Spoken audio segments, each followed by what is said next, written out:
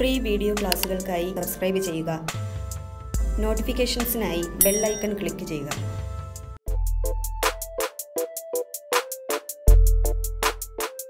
Hi friends എന്റെ പേര് അമൽ കൃഷ്ണ. നമ്മളിന്ന് ഡിസ്കസ് ചെയ്യാൻ പോകുന്ന ടോപ്പിക് വളരെ വളരെ വളരെ ഇമ്പോർട്ടന്റ് ആണ് കാരണം ഏത് പരീക്ഷ എടുത്ത് നോക്കിയാലും ഈ മേഖലയിൽ നിന്ന് ഒരു ക്വസ്റ്റ്യൻ കാണാൻ കാരണം നമ്മുടെ ടോപ്പിക് അത്രയും ഇമ്പോർട്ടന്റ് ആണ് ഇന്ന്. ഐ എസ് ആർ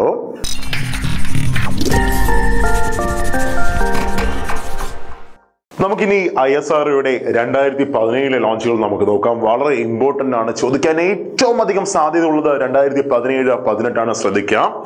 ഫസ്റ്റ് രണ്ടായിരത്തി പതിനേഴിലെ ലോഞ്ചുകൾ അതിലെ ആദ്യ ലോഞ്ചായ ഫെബ്രുവരി പതിനഞ്ചിന് വിക്ഷേപിച്ച രണ്ടായിരത്തി പതിനേഴ് ഫെബ്രുവരി പതിനഞ്ച് P S L V C thirty seven എന്ന റോക്കറ്റിൽ ആകെ നൂറ്റി നാല് ഉപഗ്രഹങ്ങളെ വിക്ഷേപിച്ചു. ആകെ നൂറ്റി നാല് ഉപഗ്രഹങ്ങളെ വിക്ഷേപിച്ചു. അതിലെ ഏറ്റവും പ്രധാനപ്പെട്ട ഉപഗ്രഹമാണ് കാർട്ടോസാറ്റ് ടു സീരീസ്. ആകെ എട്ട് ഉപഗ്രഹങ്ങളാണ് കാർട്ടോസാറ്റ് ടു സീരീസ് ഇതുവരെ വിക്ഷേപിച്ചത്.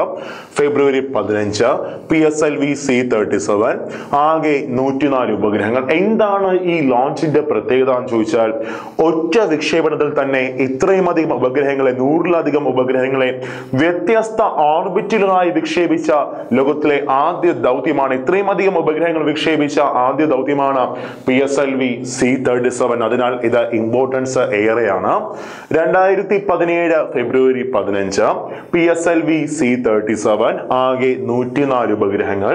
അതിലെ ഏറ്റവും പ്രധാനപ്പെട്ട ഉപഗ്രഹം കാർട്ടോസാറ്റ് ടു സീരീസ് ഇതിൽ തൊണ്ണൂറ്റി ആറ് ഉപഗ്രഹങ്ങൾ അമേരിക്ക തൊണ്ണൂറ്റി ആറ് ഉപഗ്രഹങ്ങൾ അമേരിക്ക.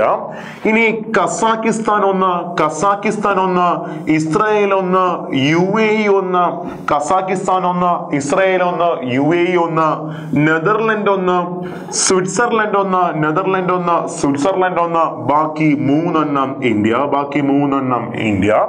തൊണ്ണൂറ്റിയാറ് ഉപഗ്രഹങ്ങൾ അമേരിക്ക കസാക്കിസ്ഥാൻ ഒന്ന് ഇസ്രായേൽ ഒന്ന് യു എ ഒന്ന് നെതർലൻഡ് ഒന്ന് സ്വിറ്റ്സർലൻഡ് ഒന്ന്.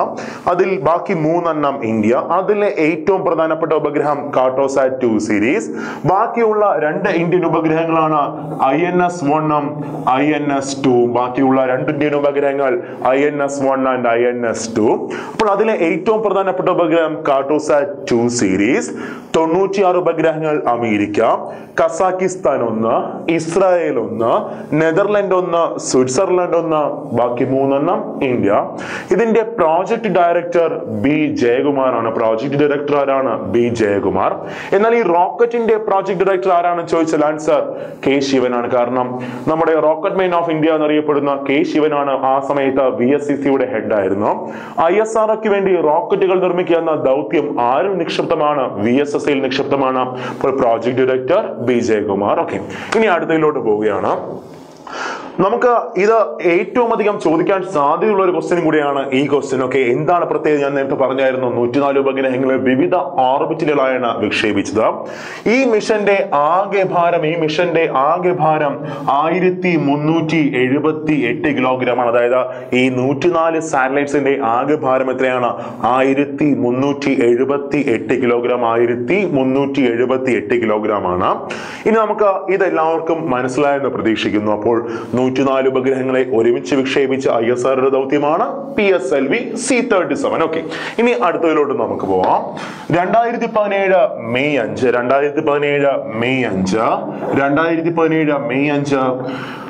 G S L V G S L V F zero nine G S L V F zero nine അതിൽ വിക്ഷേപിച്ച ഉപഗ്രഹമാണ് G sat nine G S L V F zero nine എന്ന റോക്കറ്റിൽ വിക്ഷേപിച്ച ഉപഗ്രഹമാണ് G സാറ്റ് nine എന്താണ് ഇതിന്റെ പ്രത്യേകത എന്ന് ചോദിച്ചാൽ പാകിസ്ഥാൻ ഒഴികെയുള്ള സാർക്ക് രാഷ്ട്രങ്ങൾക്ക് വേണ്ടി ഇന്ത്യ വിക്ഷേപിച്ച ഉപഗ്രഹമാണ് ഒരുക്കി കൂടെ. പാകിസ്ഥാൻ ഒഴികെയുള്ള സാർക്ക് രാഷ്ട്രങ്ങൾക്ക് വേണ്ടി ഇന്ത്യ വിക്ഷേപിച്ച ഉപഗ്രഹമാണ് G sat nine G sat nine G sat sat nine അപ്പോൾ രണ്ടായിരത്തി പതിനേഴ് മെയ് അഞ്ച് G S L V F zero nine അതിൽ പാകിസ്ഥാൻ ഒഴികെയുള്ള സാർക്ക് രാഷ്ട്രങ്ങൾക്ക് വേണ്ടി ഇന്ത്യ വിക്ഷേപിച്ച ഉപഗ്രഹമാണ് ജി സാറ്റ് നയൻ ഇനി രണ്ടായിരത്തി പതിനേഴ് ജൂൺ അഞ്ച് രണ്ടായിരത്തി പതിനേഴ് ജൂൺ അഞ്ച് G S L V mark three D one G S L V mark three D one G S L V mark three D one. അതിൽ വിക്ഷേപിച്ച ഉപഗ്രഹമാണ് ജി സാറ്റ് നയന്റീൻ. അതിൽ വിക്ഷേപിച്ച ഉപഗ്രഹമാണ് ജി സാറ്റ് നയന്റീൻ എന്താണ് ഇതിന്റെ പ്രത്യേകത എന്ന് ചോദിച്ചാൽ ഇന്ത്യയുടെ ഏറ്റവും അധികം ഭാരം വഹിക്കാൻ ശേഷിയുള്ള റോക്കറ്റാണ് G S L V mark three D one വളരെ ഇമ്പോർട്ടന്റ് ആണ്. ഇന്ത്യയുടെ ഏറ്റവും അധികം ഭാരം വഹിക്കാൻ ശേഷിയുള്ള ഏറ്റവും അധികം പേ ലോഡ് കപ്പാസിറ്റി ഉള്ള റോക്കറ്റ് ഏതാണെന്ന് ചോദിച്ചാൽ ആൻസർ ഏതാണ്? G S L V mark three D one അതിൽ വിക്ഷേപിച്ച ഉപഗ്രഹമാണ് ജി സാറ്റ് നയന്റീൻ പ്രത്യേകത ഇന്ത്യയിൽ നിന്ന് വിക്ഷേപിച്ചതിൽ ഏറ്റവും ഭാരം കൂടിയ ഉപഗ്രഹമാണ് ജി സാറ്റ് നയന്റീൻ ഇന്ത്യയുടെ അല്ല ഇന്ത്യയിൽ നിന്ന് വിക്ഷേപിച്ചതിൽ ഏറ്റവും ഭാരം കൂടിയ ഉപഗ്രഹമാണ് ജി സാറ്റ് നയന്റീൻ അപ്പോൾ നിങ്ങൾക്ക് തോന്നും ഇന്ത്യയുടെ ഏറ്റവും അധികം ഭാരമേറിയ ഉപഗ്രഹം ഏതാണ്? നമുക്ക് അങ്ങോട്ട് പോകുമ്പോൾ നമുക്കത് നോക്കാം. അപ്പോൾ രണ്ടായിരത്തി പതിനേഴ് ജൂൺ അഞ്ച് G S L V mark three D one എന്ന റോക്കറ്റിൽ ഇന്ത്യ വിക്ഷേപിച്ച ഉപഗ്രഹമാണ് ജി സാറ്റ് നയന്റീൻ ഇന്ത്യയുടെ ഏറ്റവും അധികം ഭാരം വഹിക്കാൻ ശേഷിയുള്ള റോക്കറ്റ് ഏതാണെന്ന് ചോദിച്ചാൽ answer G S L V mark three D വണ്ണം എന്നാൽ ഇന്ത്യയിൽ നിന്ന് വിക്ഷേപിച്ചതിൽ ഏറ്റവും ഭാരമുള്ള ഉപഗ്രഹം ഏതാണെന്ന് ചോദിച്ചാൽ ജി സാറ്റ് നയന്റീൻ ആണ്. ഓക്കെ ഇനി അടുത്ത ജൂൺ ഇരുപത്തി മൂന്ന് ജൂൺ ഇരുപത്തിമൂന്ന് P S L V C thirty eight അതിൽ വിക്ഷേപിച്ച ഉപഗ്രഹമാണ് Cartosat two series Cartosat two series അപ്പൊ കാർട്ടോസാറ്റ് ടു സീരീസ് ഈ മിഷനിലാകെ മുപ്പത്തി ഒന്ന് സാറ്റലൈറ്റ്സുകൾ വിക്ഷേപിച്ചു. അത്ര ഇമ്പോർട്ടൻസ് അല്ല ഇത്. കാരണം നൂറ്റിനാല് ഉപഗ്രഹങ്ങൾ വിക്ഷേപിച്ച് എവിടെയുണ്ട് അപ്പോൾ രണ്ടായിരത്തി പതിനേഴ് ജൂൺ ഇരുപത്തി മൂന്ന് P S L V C thirty eight ആകെ മുപ്പത്തി ഒന്ന് സാറ്റലൈറ്റുകൾ വിക്ഷേപിച്ചു അതിലൊരെണ്ണമാണ് ഇത് കാർട്ടോസാറ്റ് ടു സീരീസ് ഞാൻ നേരത്തെ പറഞ്ഞു കാർട്ടോസാറ്റ് ടു സീരീസിലാകെ എത്ര ഉപഗ്രഹങ്ങൾ വിക്ഷേപിച്ചു? എട്ട് ഉപഗ്രഹങ്ങൾ. ഓരോന്നാട്ടിങ്ങനെ വിക്ഷേപിച്ചുകൊണ്ടിരിക്കുന്നു. അടുത്ത ജൂൺ ഇരുപത്തി ഒൻപത് ജൂൺ ഇരുപത്തി ഒൻപത് ഏരിയാൻ ഫൈവ് അല്ലെങ്കിൽ അരിയാന ഫൈവ് എന്ന റോക്കറ്റിൽ വിക്ഷേപിച്ച ഇന്ത്യയുടെ ഉപഗ്രഹമാണ് G sat seventeen G sat seventeen എന്താണ് ജി സാറ്റ് സെവന്റീന്റെ പ്രത്യേകത എന്ന് ചോദിച്ചാൽ ഇന്ത്യയുടെ ഏറ്റവും ഭാരമേറിയ ഉപഗ്രഹമാണ് ജി സാറ്റ് സെവന്റീൻ ആ വ്യത്യാസം മനസ്സിലായെന്ന് തോന്നുന്നു. കാരണം ഇത് എവിടെ നിന്നാണ് വിക്ഷേപിച്ചത്? ഏരിയാൻ ഫൈവ് ആണ് അല്ലെങ്കിൽ അരിയാന ഫൈവ് ആണ് റോക്കറ്റ് അങ്ങനെയാണെങ്കിൽ എവിടെ നിന്നായിരിക്കും വിക്ഷേപിക്കുന്നത്? ഫ്രഞ്ച് ഗയാനയിലെ കൗറിൽ നിന്നാണ്. അപ്പോൾ ഓർത്തു വെച്ചേക്കുക ഇന്ത്യയുടെ ഏറ്റവും ഭാരമേറിയ ഉപഗ്രഹം ഏതാണെന്ന് ചോദിച്ചാൽ ആൻസർ ഏതാണ്? ജി സാറ്റ് സെവന്റീനും എന്നാൽ ഇന്ത്യയിൽ നിന്ന് വിക്ഷേപിച്ച ഇന്ത്യയിൽ നിന്ന് വിക്ഷേപിച്ച ഏറ്റവും ഭാരമേറിയ ഉപഗ്രഹം ഏതാണെന്ന് ചോദിച്ചാൽ ആൻസർ ഏതാണ്? ജി സാറ്റ് നയന്റീൻ ആണ്. ഓക്കെ ഏത് റോക്കറ്റിലാണ് G S L V mark three D one ഇനി നാവികിൽ ഒരെണ്ണമുണ്ട് ഓഗസ്റ്റ് മുപ്പത്തി ഒന്ന് നമ്മൾ നാവികിൽ എടുത്തതാണ്. ഓക്കെ അതുകൊണ്ട് ഞാൻ വീണ്ടും അത് പറയുന്നില്ല. ഇത്രയുമാണ് ഐ എസ് ആർഒയുടെ രണ്ടായിരത്തി പതിനേഴിലെ പ്രധാനപ്പെട്ട ലോഞ്ചുകൾ ഒന്ന് ഫെബ്രുവരി പതിനഞ്ച് P S L V C thirty seven ആകെ നൂറ്റിനാല് ഉപഗ്രഹങ്ങൾ. പ്രധാനപ്പെട്ട ഉപഗ്രഹം കാർട്ടോസാറ്റ് ടു സീരീസ് മെയ് അഞ്ച് G S L V F zero nine എന്ന റോക്കറ്റിൽ ജി സാറ്റ് നയൻ പാകിസ്ഥാൻ ഒഴികെയുള്ള സാർക്ക് രാഷ്ട്രങ്ങൾക്ക് വേണ്ടി ഇന്ത്യ വിക്ഷേപിച്ച ഉപഗ്രഹം.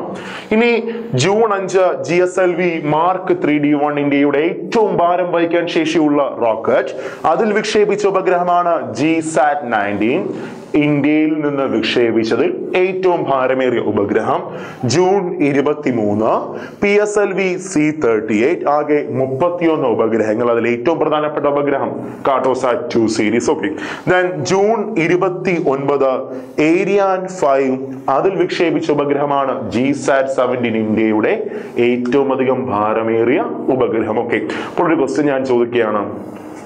രണ്ടായിരത്തി പതിനേഴിൽ ഇന്ത്യ ഫ്രഞ്ച് ഗായനയിലെ കൗറിൽ നിന്ന് വിക്ഷേപിച്ച സാറ്റലൈറ്റ് ഏതാണ്? ആൻസർ ഏതാണ്?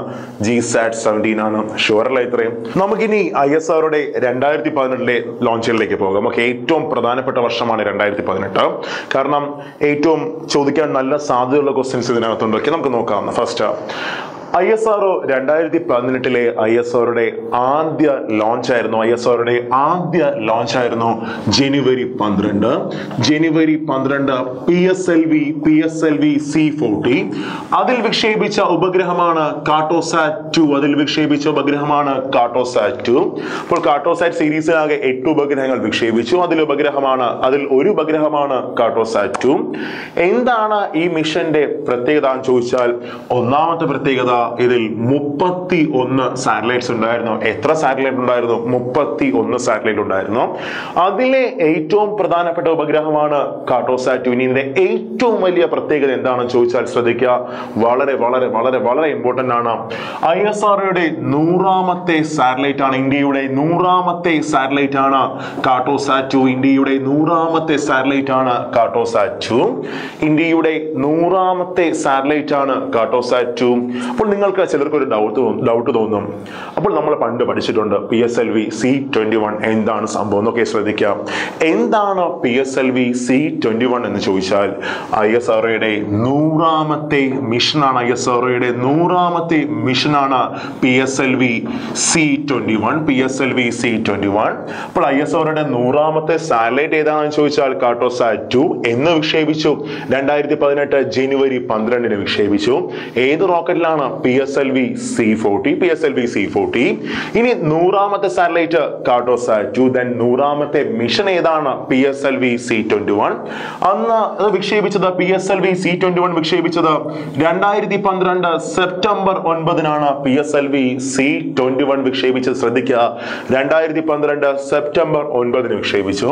പ്രധാനമായും രണ്ട് ഉപഗ്രഹങ്ങളെ ഒന്ന് ഫ്രാൻസിന്റെ സ്പോർട്സ് സിക്സും ഒന്ന് ഫ്രാൻസിന്റെ സ്പോർട്സ് സിക്സും. രണ്ടാമത്തെയാണ് ജപ്പാന്റെ പ്രോയിറ്റേഴ്സ് ഒന്ന് ഫ്രാൻസിന്റെ സ്പോർട്സ് സിക്സ് രണ്ട് ജപ്പാന്റെ പ്രോയിറ്റേഴ്സ് ഈ രണ്ട് ഉപഗ്രഹങ്ങളെയാണ് പ്രധാനമായും വിക്ഷേപിച്ചത്. അപ്പോൾ ഒരു ക്വസ്റ്റൻ ഒരിക്കലും മാറിപ്പോരുത്. അല്ലെങ്കിൽ നിങ്ങൾക്ക് ഒരിക്കലും ഒരു ഡൗട്ട് വരാൻ പാടില്ല. ഇവ തമ്മിലുള്ള വ്യത്യാസം. ഒക്കെ ശ്രദ്ധിക്കുക ഫസ്റ്റ് ഐ എസ് ആർഒയുടെ നൂറാമത്തെ സാറ്റലൈറ്റ് ഏതാണെന്ന് ചോദിച്ചാൽ ആൻസർ ഏതാണ്? Cartosat two then I S ആർഒയുടെ നൂറാമത്തെ satellite mission sorry I S ആർഒയുടെ നൂറാമത്തെ മിഷൻ ഏതാണെന്ന് ചോദിച്ചാൽ ആൻസർ ഏതാണ്? P S L V C twenty one P S L V C twenty one എന്ന് വിക്ഷേപിച്ചു. രണ്ടായിരത്തി പന്ത്രണ്ട് സെപ്റ്റംബർ ഒൻപതിന് വിക്ഷേപിച്ചു. രണ്ട് ഉപഗ്രഹങ്ങളെ ഫ്രാൻസിന്റെ സ്പോർട്സ് സിക്സും ജപ്പാന്റെ പ്രോയിറ്റേഴ്സിനെയുമാണ് പ്രധാനമായിട്ട് വിക്ഷേപിച്ചത്. അപ്പോൾ ഇത്രയും ഡൗട്ട് ഒന്നുമില്ല എന്ന് പ്രതീക്ഷിക്കുന്നു. ഇനി ഇതിലെ മറ്റൊരു ക്വസ്റ്റ്യൻ ഉണ്ട്. എന്താണെന്ന് ചോദിച്ചാൽ പി എസ് എൽ വിയുടെ പി എസ് എൽ വിയുടെ നാൽപ്പത്തി രണ്ടാമത്തെ വിക്ഷേപണമാണ് പി എസ് എൽ വിയുടെ നാൽപ്പത്തി രണ്ടാമത്തെ വിക്ഷേപണമാണ് ഈ കാട്ടോസാറ്റ് ടു ഉറപ്പല്ലേ? പി എസ് എൽ വിയുടെ നാൽപ്പത്തി രണ്ടാമത്തെ ലോഞ്ചാണ് കാട്ടോസാറ്റ് ടു. അപ്പോൾ ഇതിൽ നാൽപ്പത് ഇട്ടേക്കുന്നുണ്ട് നാൽപ്പത് എഴുതരുത്. പി എസ് എൽ വിയുടെ നാൽപ്പത്തി രണ്ടാമത്തെ ലോഞ്ചാണ് ഈ കാട്ടോസാറ്റ് ടു അല്ലേ? നമുക്കിനി ഐ എസ് ആർ ഈ വർഷം വിക്ഷേപിച്ച രണ്ടാമത്തെ മിഷൻ നമുക്ക് നോക്കാം. രണ്ടായിരത്തി പതിനെട്ട് മാർച്ച് ഇരുപത്തി ഒൻപതിന് വിക്ഷേപിച്ച മാർച്ച് ഇരുപത്തി ഒൻപതിന് വിക്ഷേപിച്ച G S L V F zero eight എന്ന വിക്ഷോഭത്തിൽ വിക്ഷേപിച്ച ഉപഗ്രഹമാണ് G sat six A G sat six A അപ്പോൾ ഈ മിഷൻ രണ്ടായിരത്തി പതിനെട്ട് മാർച്ച് ഇരുപത്തി ഒൻപത് G S L V F zero eight അതിൽ വിക്ഷേപിച്ച ഉപഗ്രഹമാണ് G sat six A okay ഈ മിഷന്റെ പ്രത്യേകത എന്താണെന്ന് ചോദിച്ചാൽ രണ്ട് പ്രത്യേകതകൾ ഈ മിഷനുണ്ട്. ഒന്നാമത്തെ പ്രത്യേകതയാണ് ഈ ഉപഗ്രഹവുമായിട്ടുള്ള ബന്ധം ഐ എസ് ആർക്ക് നഷ്ടപ്പെട്ടു. അതിനാൽ നമുക്ക് ഈ മിഷനെ എന്തെന്ന് പറയാം? ഒരു ഫെയിലർ മിഷൻ എന്ന് പറയാം.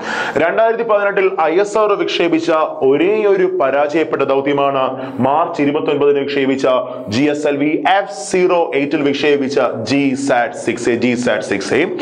പിന്നെ രണ്ടാമത്തെ പ്രത്യേകതയാണ് G S L V F zero eight എന്ന റോക്കറ്റിനകത്ത് ഒരു പ്രത്യേകതയുണ്ട് കാരണം ഇത് ഉപയോഗിച്ചിരിക്കുന്ന എഞ്ചിൻ വികാസ് എഞ്ചിനാണ് ഉപയോഗിച്ചിരിക്കുന്ന എഞ്ചിൻ എന്ത് എഞ്ചിനാണ് വികാസ് എഞ്ചിനാണ് വികാസ് എഞ്ചിൻ ഉപയോഗിക്കുന്നുണ്ട്. എന്നാൽ ഈ ഉപയോഗിച്ചതിന്റെ പ്രത്യേകത ഈ Vikas engine six percentage thrust കൂട്ടിയാണ് ഈ റോക്കറ്റിനകത്ത് വിക്ഷേപ ഘടിപ്പിച്ചിരിക്കുന്നത്.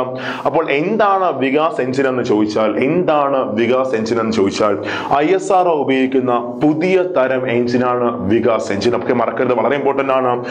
ഐ എസ് ആർ ഉപയോഗിക്കുന്ന പുതിയ തരം എഞ്ചിനാണ് വികാസ് എഞ്ചിൻ ഇത് വികസിപ്പിച്ചത് ഗോദ്രേജും എം ടാറും ചേർന്നാണ്. എം ടാർ എന്നൊരു കമ്പനിയും ചേർന്നാണ് ഏത് വികസിപ്പിച്ചത്? വികാസ് എഞ്ചിൻ വികസിപ്പിച്ചത്. വികാസ് എഞ്ചിൻ വികസിപ്പിച്ചത്. ഇത് എന്തിൽ നിന്ന് മാതൃക ഉൾക്കൊണ്ടാണ് വികസിപ്പിച്ചതെന്ന് ചോദിച്ചാൽ പണ്ട് ഫ്രാൻസ് ഉപയോഗിച്ചിരുന്ന എഞ്ചിനായ വൈക്കിങ്ങിൽ നിന്ന് മാതൃക ഉൾക്കൊണ്ടാണ് ഏത് നിർമ്മിച്ചിരിക്കുന്നത്? വികാസ് നിർമ്മിച്ചിരിക്കുന്നത്. അപ്പോൾ ക്വസ്റ്റ്യൻ ഇതാണ്. ഐ എസ് ആർ ഉപയോഗിക്കുന്ന പുതിയ റോക്കറ്റ് എഞ്ചിൻ എന്താണെന്ന് ചോദിച്ചാൽ ആൻസർ വികാസ് ആണ് ദെൻ അടുത്ത ക്വസ്റ്റ്യൻ രണ്ടായിരത്തി പതിനെട്ടിൽ ഐ എസ് ആർ വിക്ഷേപിച്ച പരാജയപ്പെട്ട ദൗത്യം അല്ലെങ്കിൽ ഐ എസ് ആറുടെ ഫെയിലർ മിഷൻ ഏതാണെന്ന് ചോദിച്ചാൽ ആൻസർ മാർച്ച് ഇരുപത്തി ഒൻപതിന് വിക്ഷേപിച്ച G S L V F zero eight G sat six A G sat six A G sat six A then നമുക്ക് അടുത്ത ലോഞ്ചിലേക്ക് പോകാം. ഏപ്രിൽ പന്ത്രണ്ട് ഏപ്രിൽ പന്ത്രണ്ട്. ഏപ്രിൽ പന്ത്രണ്ടിന് P S L V C forty one P S L V C forty one എന്ന റോക്കറ്റിൽ വിക്ഷേപിച്ച ഇന്ത്യയുടെ നാവിഗേഷൻ സീരീസിലെ അവസാനത്തെ ഉപഗ്രഹമായ I R N S S one I I R N S S one അപ്പോൾ ഇതിന്റെ ഡീറ്റെയിൽസ് എല്ലാം നമ്മൾ കഴിഞ്ഞ ക്ലാസ്സിൽ പറഞ്ഞതാണ്. ഇപ്പോൾ ഞാൻ വീണ്ടും റിപ്പീറ്റ് ചെയ്യുന്നില്ല. നാവിഗേഷൻ സിസ്റ്റത്തിലെ അവസാനത്തെ ഉപഗ്രഹമാണ് I R N S S one I then വളരെ ഇമ്പോർട്ടന്റ് ആണ് ജൂലൈ അഞ്ച്. ജൂലൈ അഞ്ച് India crew escape system crew escape system crew escape system വിജയകരമായി പരീക്ഷ ഒക്കെ എന്താണ് ക്രിയു എസ്കേപ്പ് സിസ്റ്റം എന്ന് ചോദിച്ചാൽ ശ്രദ്ധിക്കുക വളരെ ഇമ്പോർട്ടന്റ് ആണ്. ഇന്ത്യ ബഹിരാകാശത്തേക്ക് ആളയക്കാനുള്ള മിഷന്റെ ഗവേഷണത്തിലാണ്. അപ്പോൾ അങ്ങനെയുള്ള ഒരു മിഷൻ നിങ്ങൾ ആലോചിച്ച് നോക്കാം. ആ മിഷനിലെ എന്തെങ്കിലും ഒരു എമർജൻസി ഉണ്ടെങ്കിൽ നമുക്ക് ആ ക്രീവിനെ എന്തെയാണ് പരിക്കുകളൊന്നും കൂടാതെ താഴെ എത്തിക്കണം. അതിനായി ഐസോറോ പരീക്ഷ ഒരു ടെക്നോളജിയാണ് അല്ലെങ്കിൽ ആ പരീക്ഷ ടെക്നോളജി അറിയപ്പെടുന്ന പേരാണ് ക്രിയു എസ്കേപ്പ് സിസ്റ്റം. എന്തെങ്കിലും ഒരു എമർജൻസി ഉണ്ടായാൽ ആ സഞ്ചാരിയെ നമുക്ക് യാതൊരു പരിക്കുമില്ലാതെ താഴെ എത്തിക്കുന്ന ടെക്നോളജിയാണ് ഈ സിസ്റ്റത്തിലൂടെ പരീക്ഷിത എന്ന് വിക്ഷേപിച്ച അല്ലെങ്കിൽ എന്ന് പരീക്ഷിച്ചു എന്ന് ചോദിച്ചാൽ ആൻസർ ജൂലൈ അഞ്ചിനാണ് അപ്പോൾ ഈ നാല് മിഷനാണ് പ്രധാനമായിട്ടും രണ്ടായിരത്തി പതിനെട്ടിൽ ഐ എസ് ഉള്ളത് ഇനി ഇതിനകത്ത് വരുന്നത് ഒന്നെന്താണെന്ന് ചോദിച്ചാൽ April വിക്ഷേപിച്ച V S S C April വിക്ഷേപിച്ച ഒരു റോക്കറ്റ് ആണ് R H three hundred R H three hundred mark two R H three hundred mark two. അപ്പോൾ എന്താണ് ഇതിന്റെ പ്രത്യേകത എന്ന് ചോദിച്ചാൽ വി എസ് എസ് സി ആണ് ഏത് വിക്ഷേപിച്ചത്? തുമ്പയിൽ നിന്ന് ആർ ഹെച്ച് ത്രീ ഹൺഡ്രഡ് വിക്ഷേപിച്ചത്. അപ്പോൾ എന്താണ് വ്യത്യാസം? എന്ന് ചോദിച്ചാൽ എന്താണ്? അല്ലെങ്കിൽ ബി എസ് എസ് എന്ന് ചോദിച്ചാൽ ഒന്നാമത്തെ പ്രത്യേകതയാണ്. ഐ എസ് ആർ ഏറ്റവും വലിയ അനുബന്ധ ഏജൻസിയാണ് V S S C I S ആർഒക്ക് വേണ്ടി റോക്കറ്റുകൾ നിർമ്മിക്കുന്നത് ആരാണെന്ന് ചോദിച്ചാൽ അതിന്റെ ഉത്തരവാദിത്വവും ആർക്കാണ്? വി എസ് എസ് സിക്കാണ് രണ്ട് പോയിന്റ് ഒന്ന് ഐ എസ് ആറുടെ ഏറ്റവും വലിയ അനുബന്ധ ഏജൻസിയാണ് V S S. C I S ആർഒക്ക് വേണ്ടി റോക്കറ്റുകൾ നിർമ്മിക്കുന്നതും ആര് തന്നെയാണ്? വി എസ് എസ് തന്നെയാണ്. ആയിരത്തി തൊള്ളായിരത്തി അറുപത്തി മൂന്ന് നവംബർ ഇരുപത്തിയൊന്നിനാണ് വി എസ് എസ് സി സ്ഥാപിതമായത്. അപ്പോൾ അന്ന് തൊട്ട് ആർ എസ് സീരീസ് റോക്കറ്റുകൾ അയക്കുന്നുണ്ട്. ഉദാഹരണം നൈക്കി അപ്പച്ച വിക്ഷേപിച്ചു. അപ്പോൾ രണ്ടായിരത്തി പതിനെട്ടിൽ വി എസ് എസ് സി വിക്ഷേപിച്ച റോക്കറ്റാണ് R H three hundred. R H three hundred. Sounding series റോക്കറ്റാണ് R H three hundred.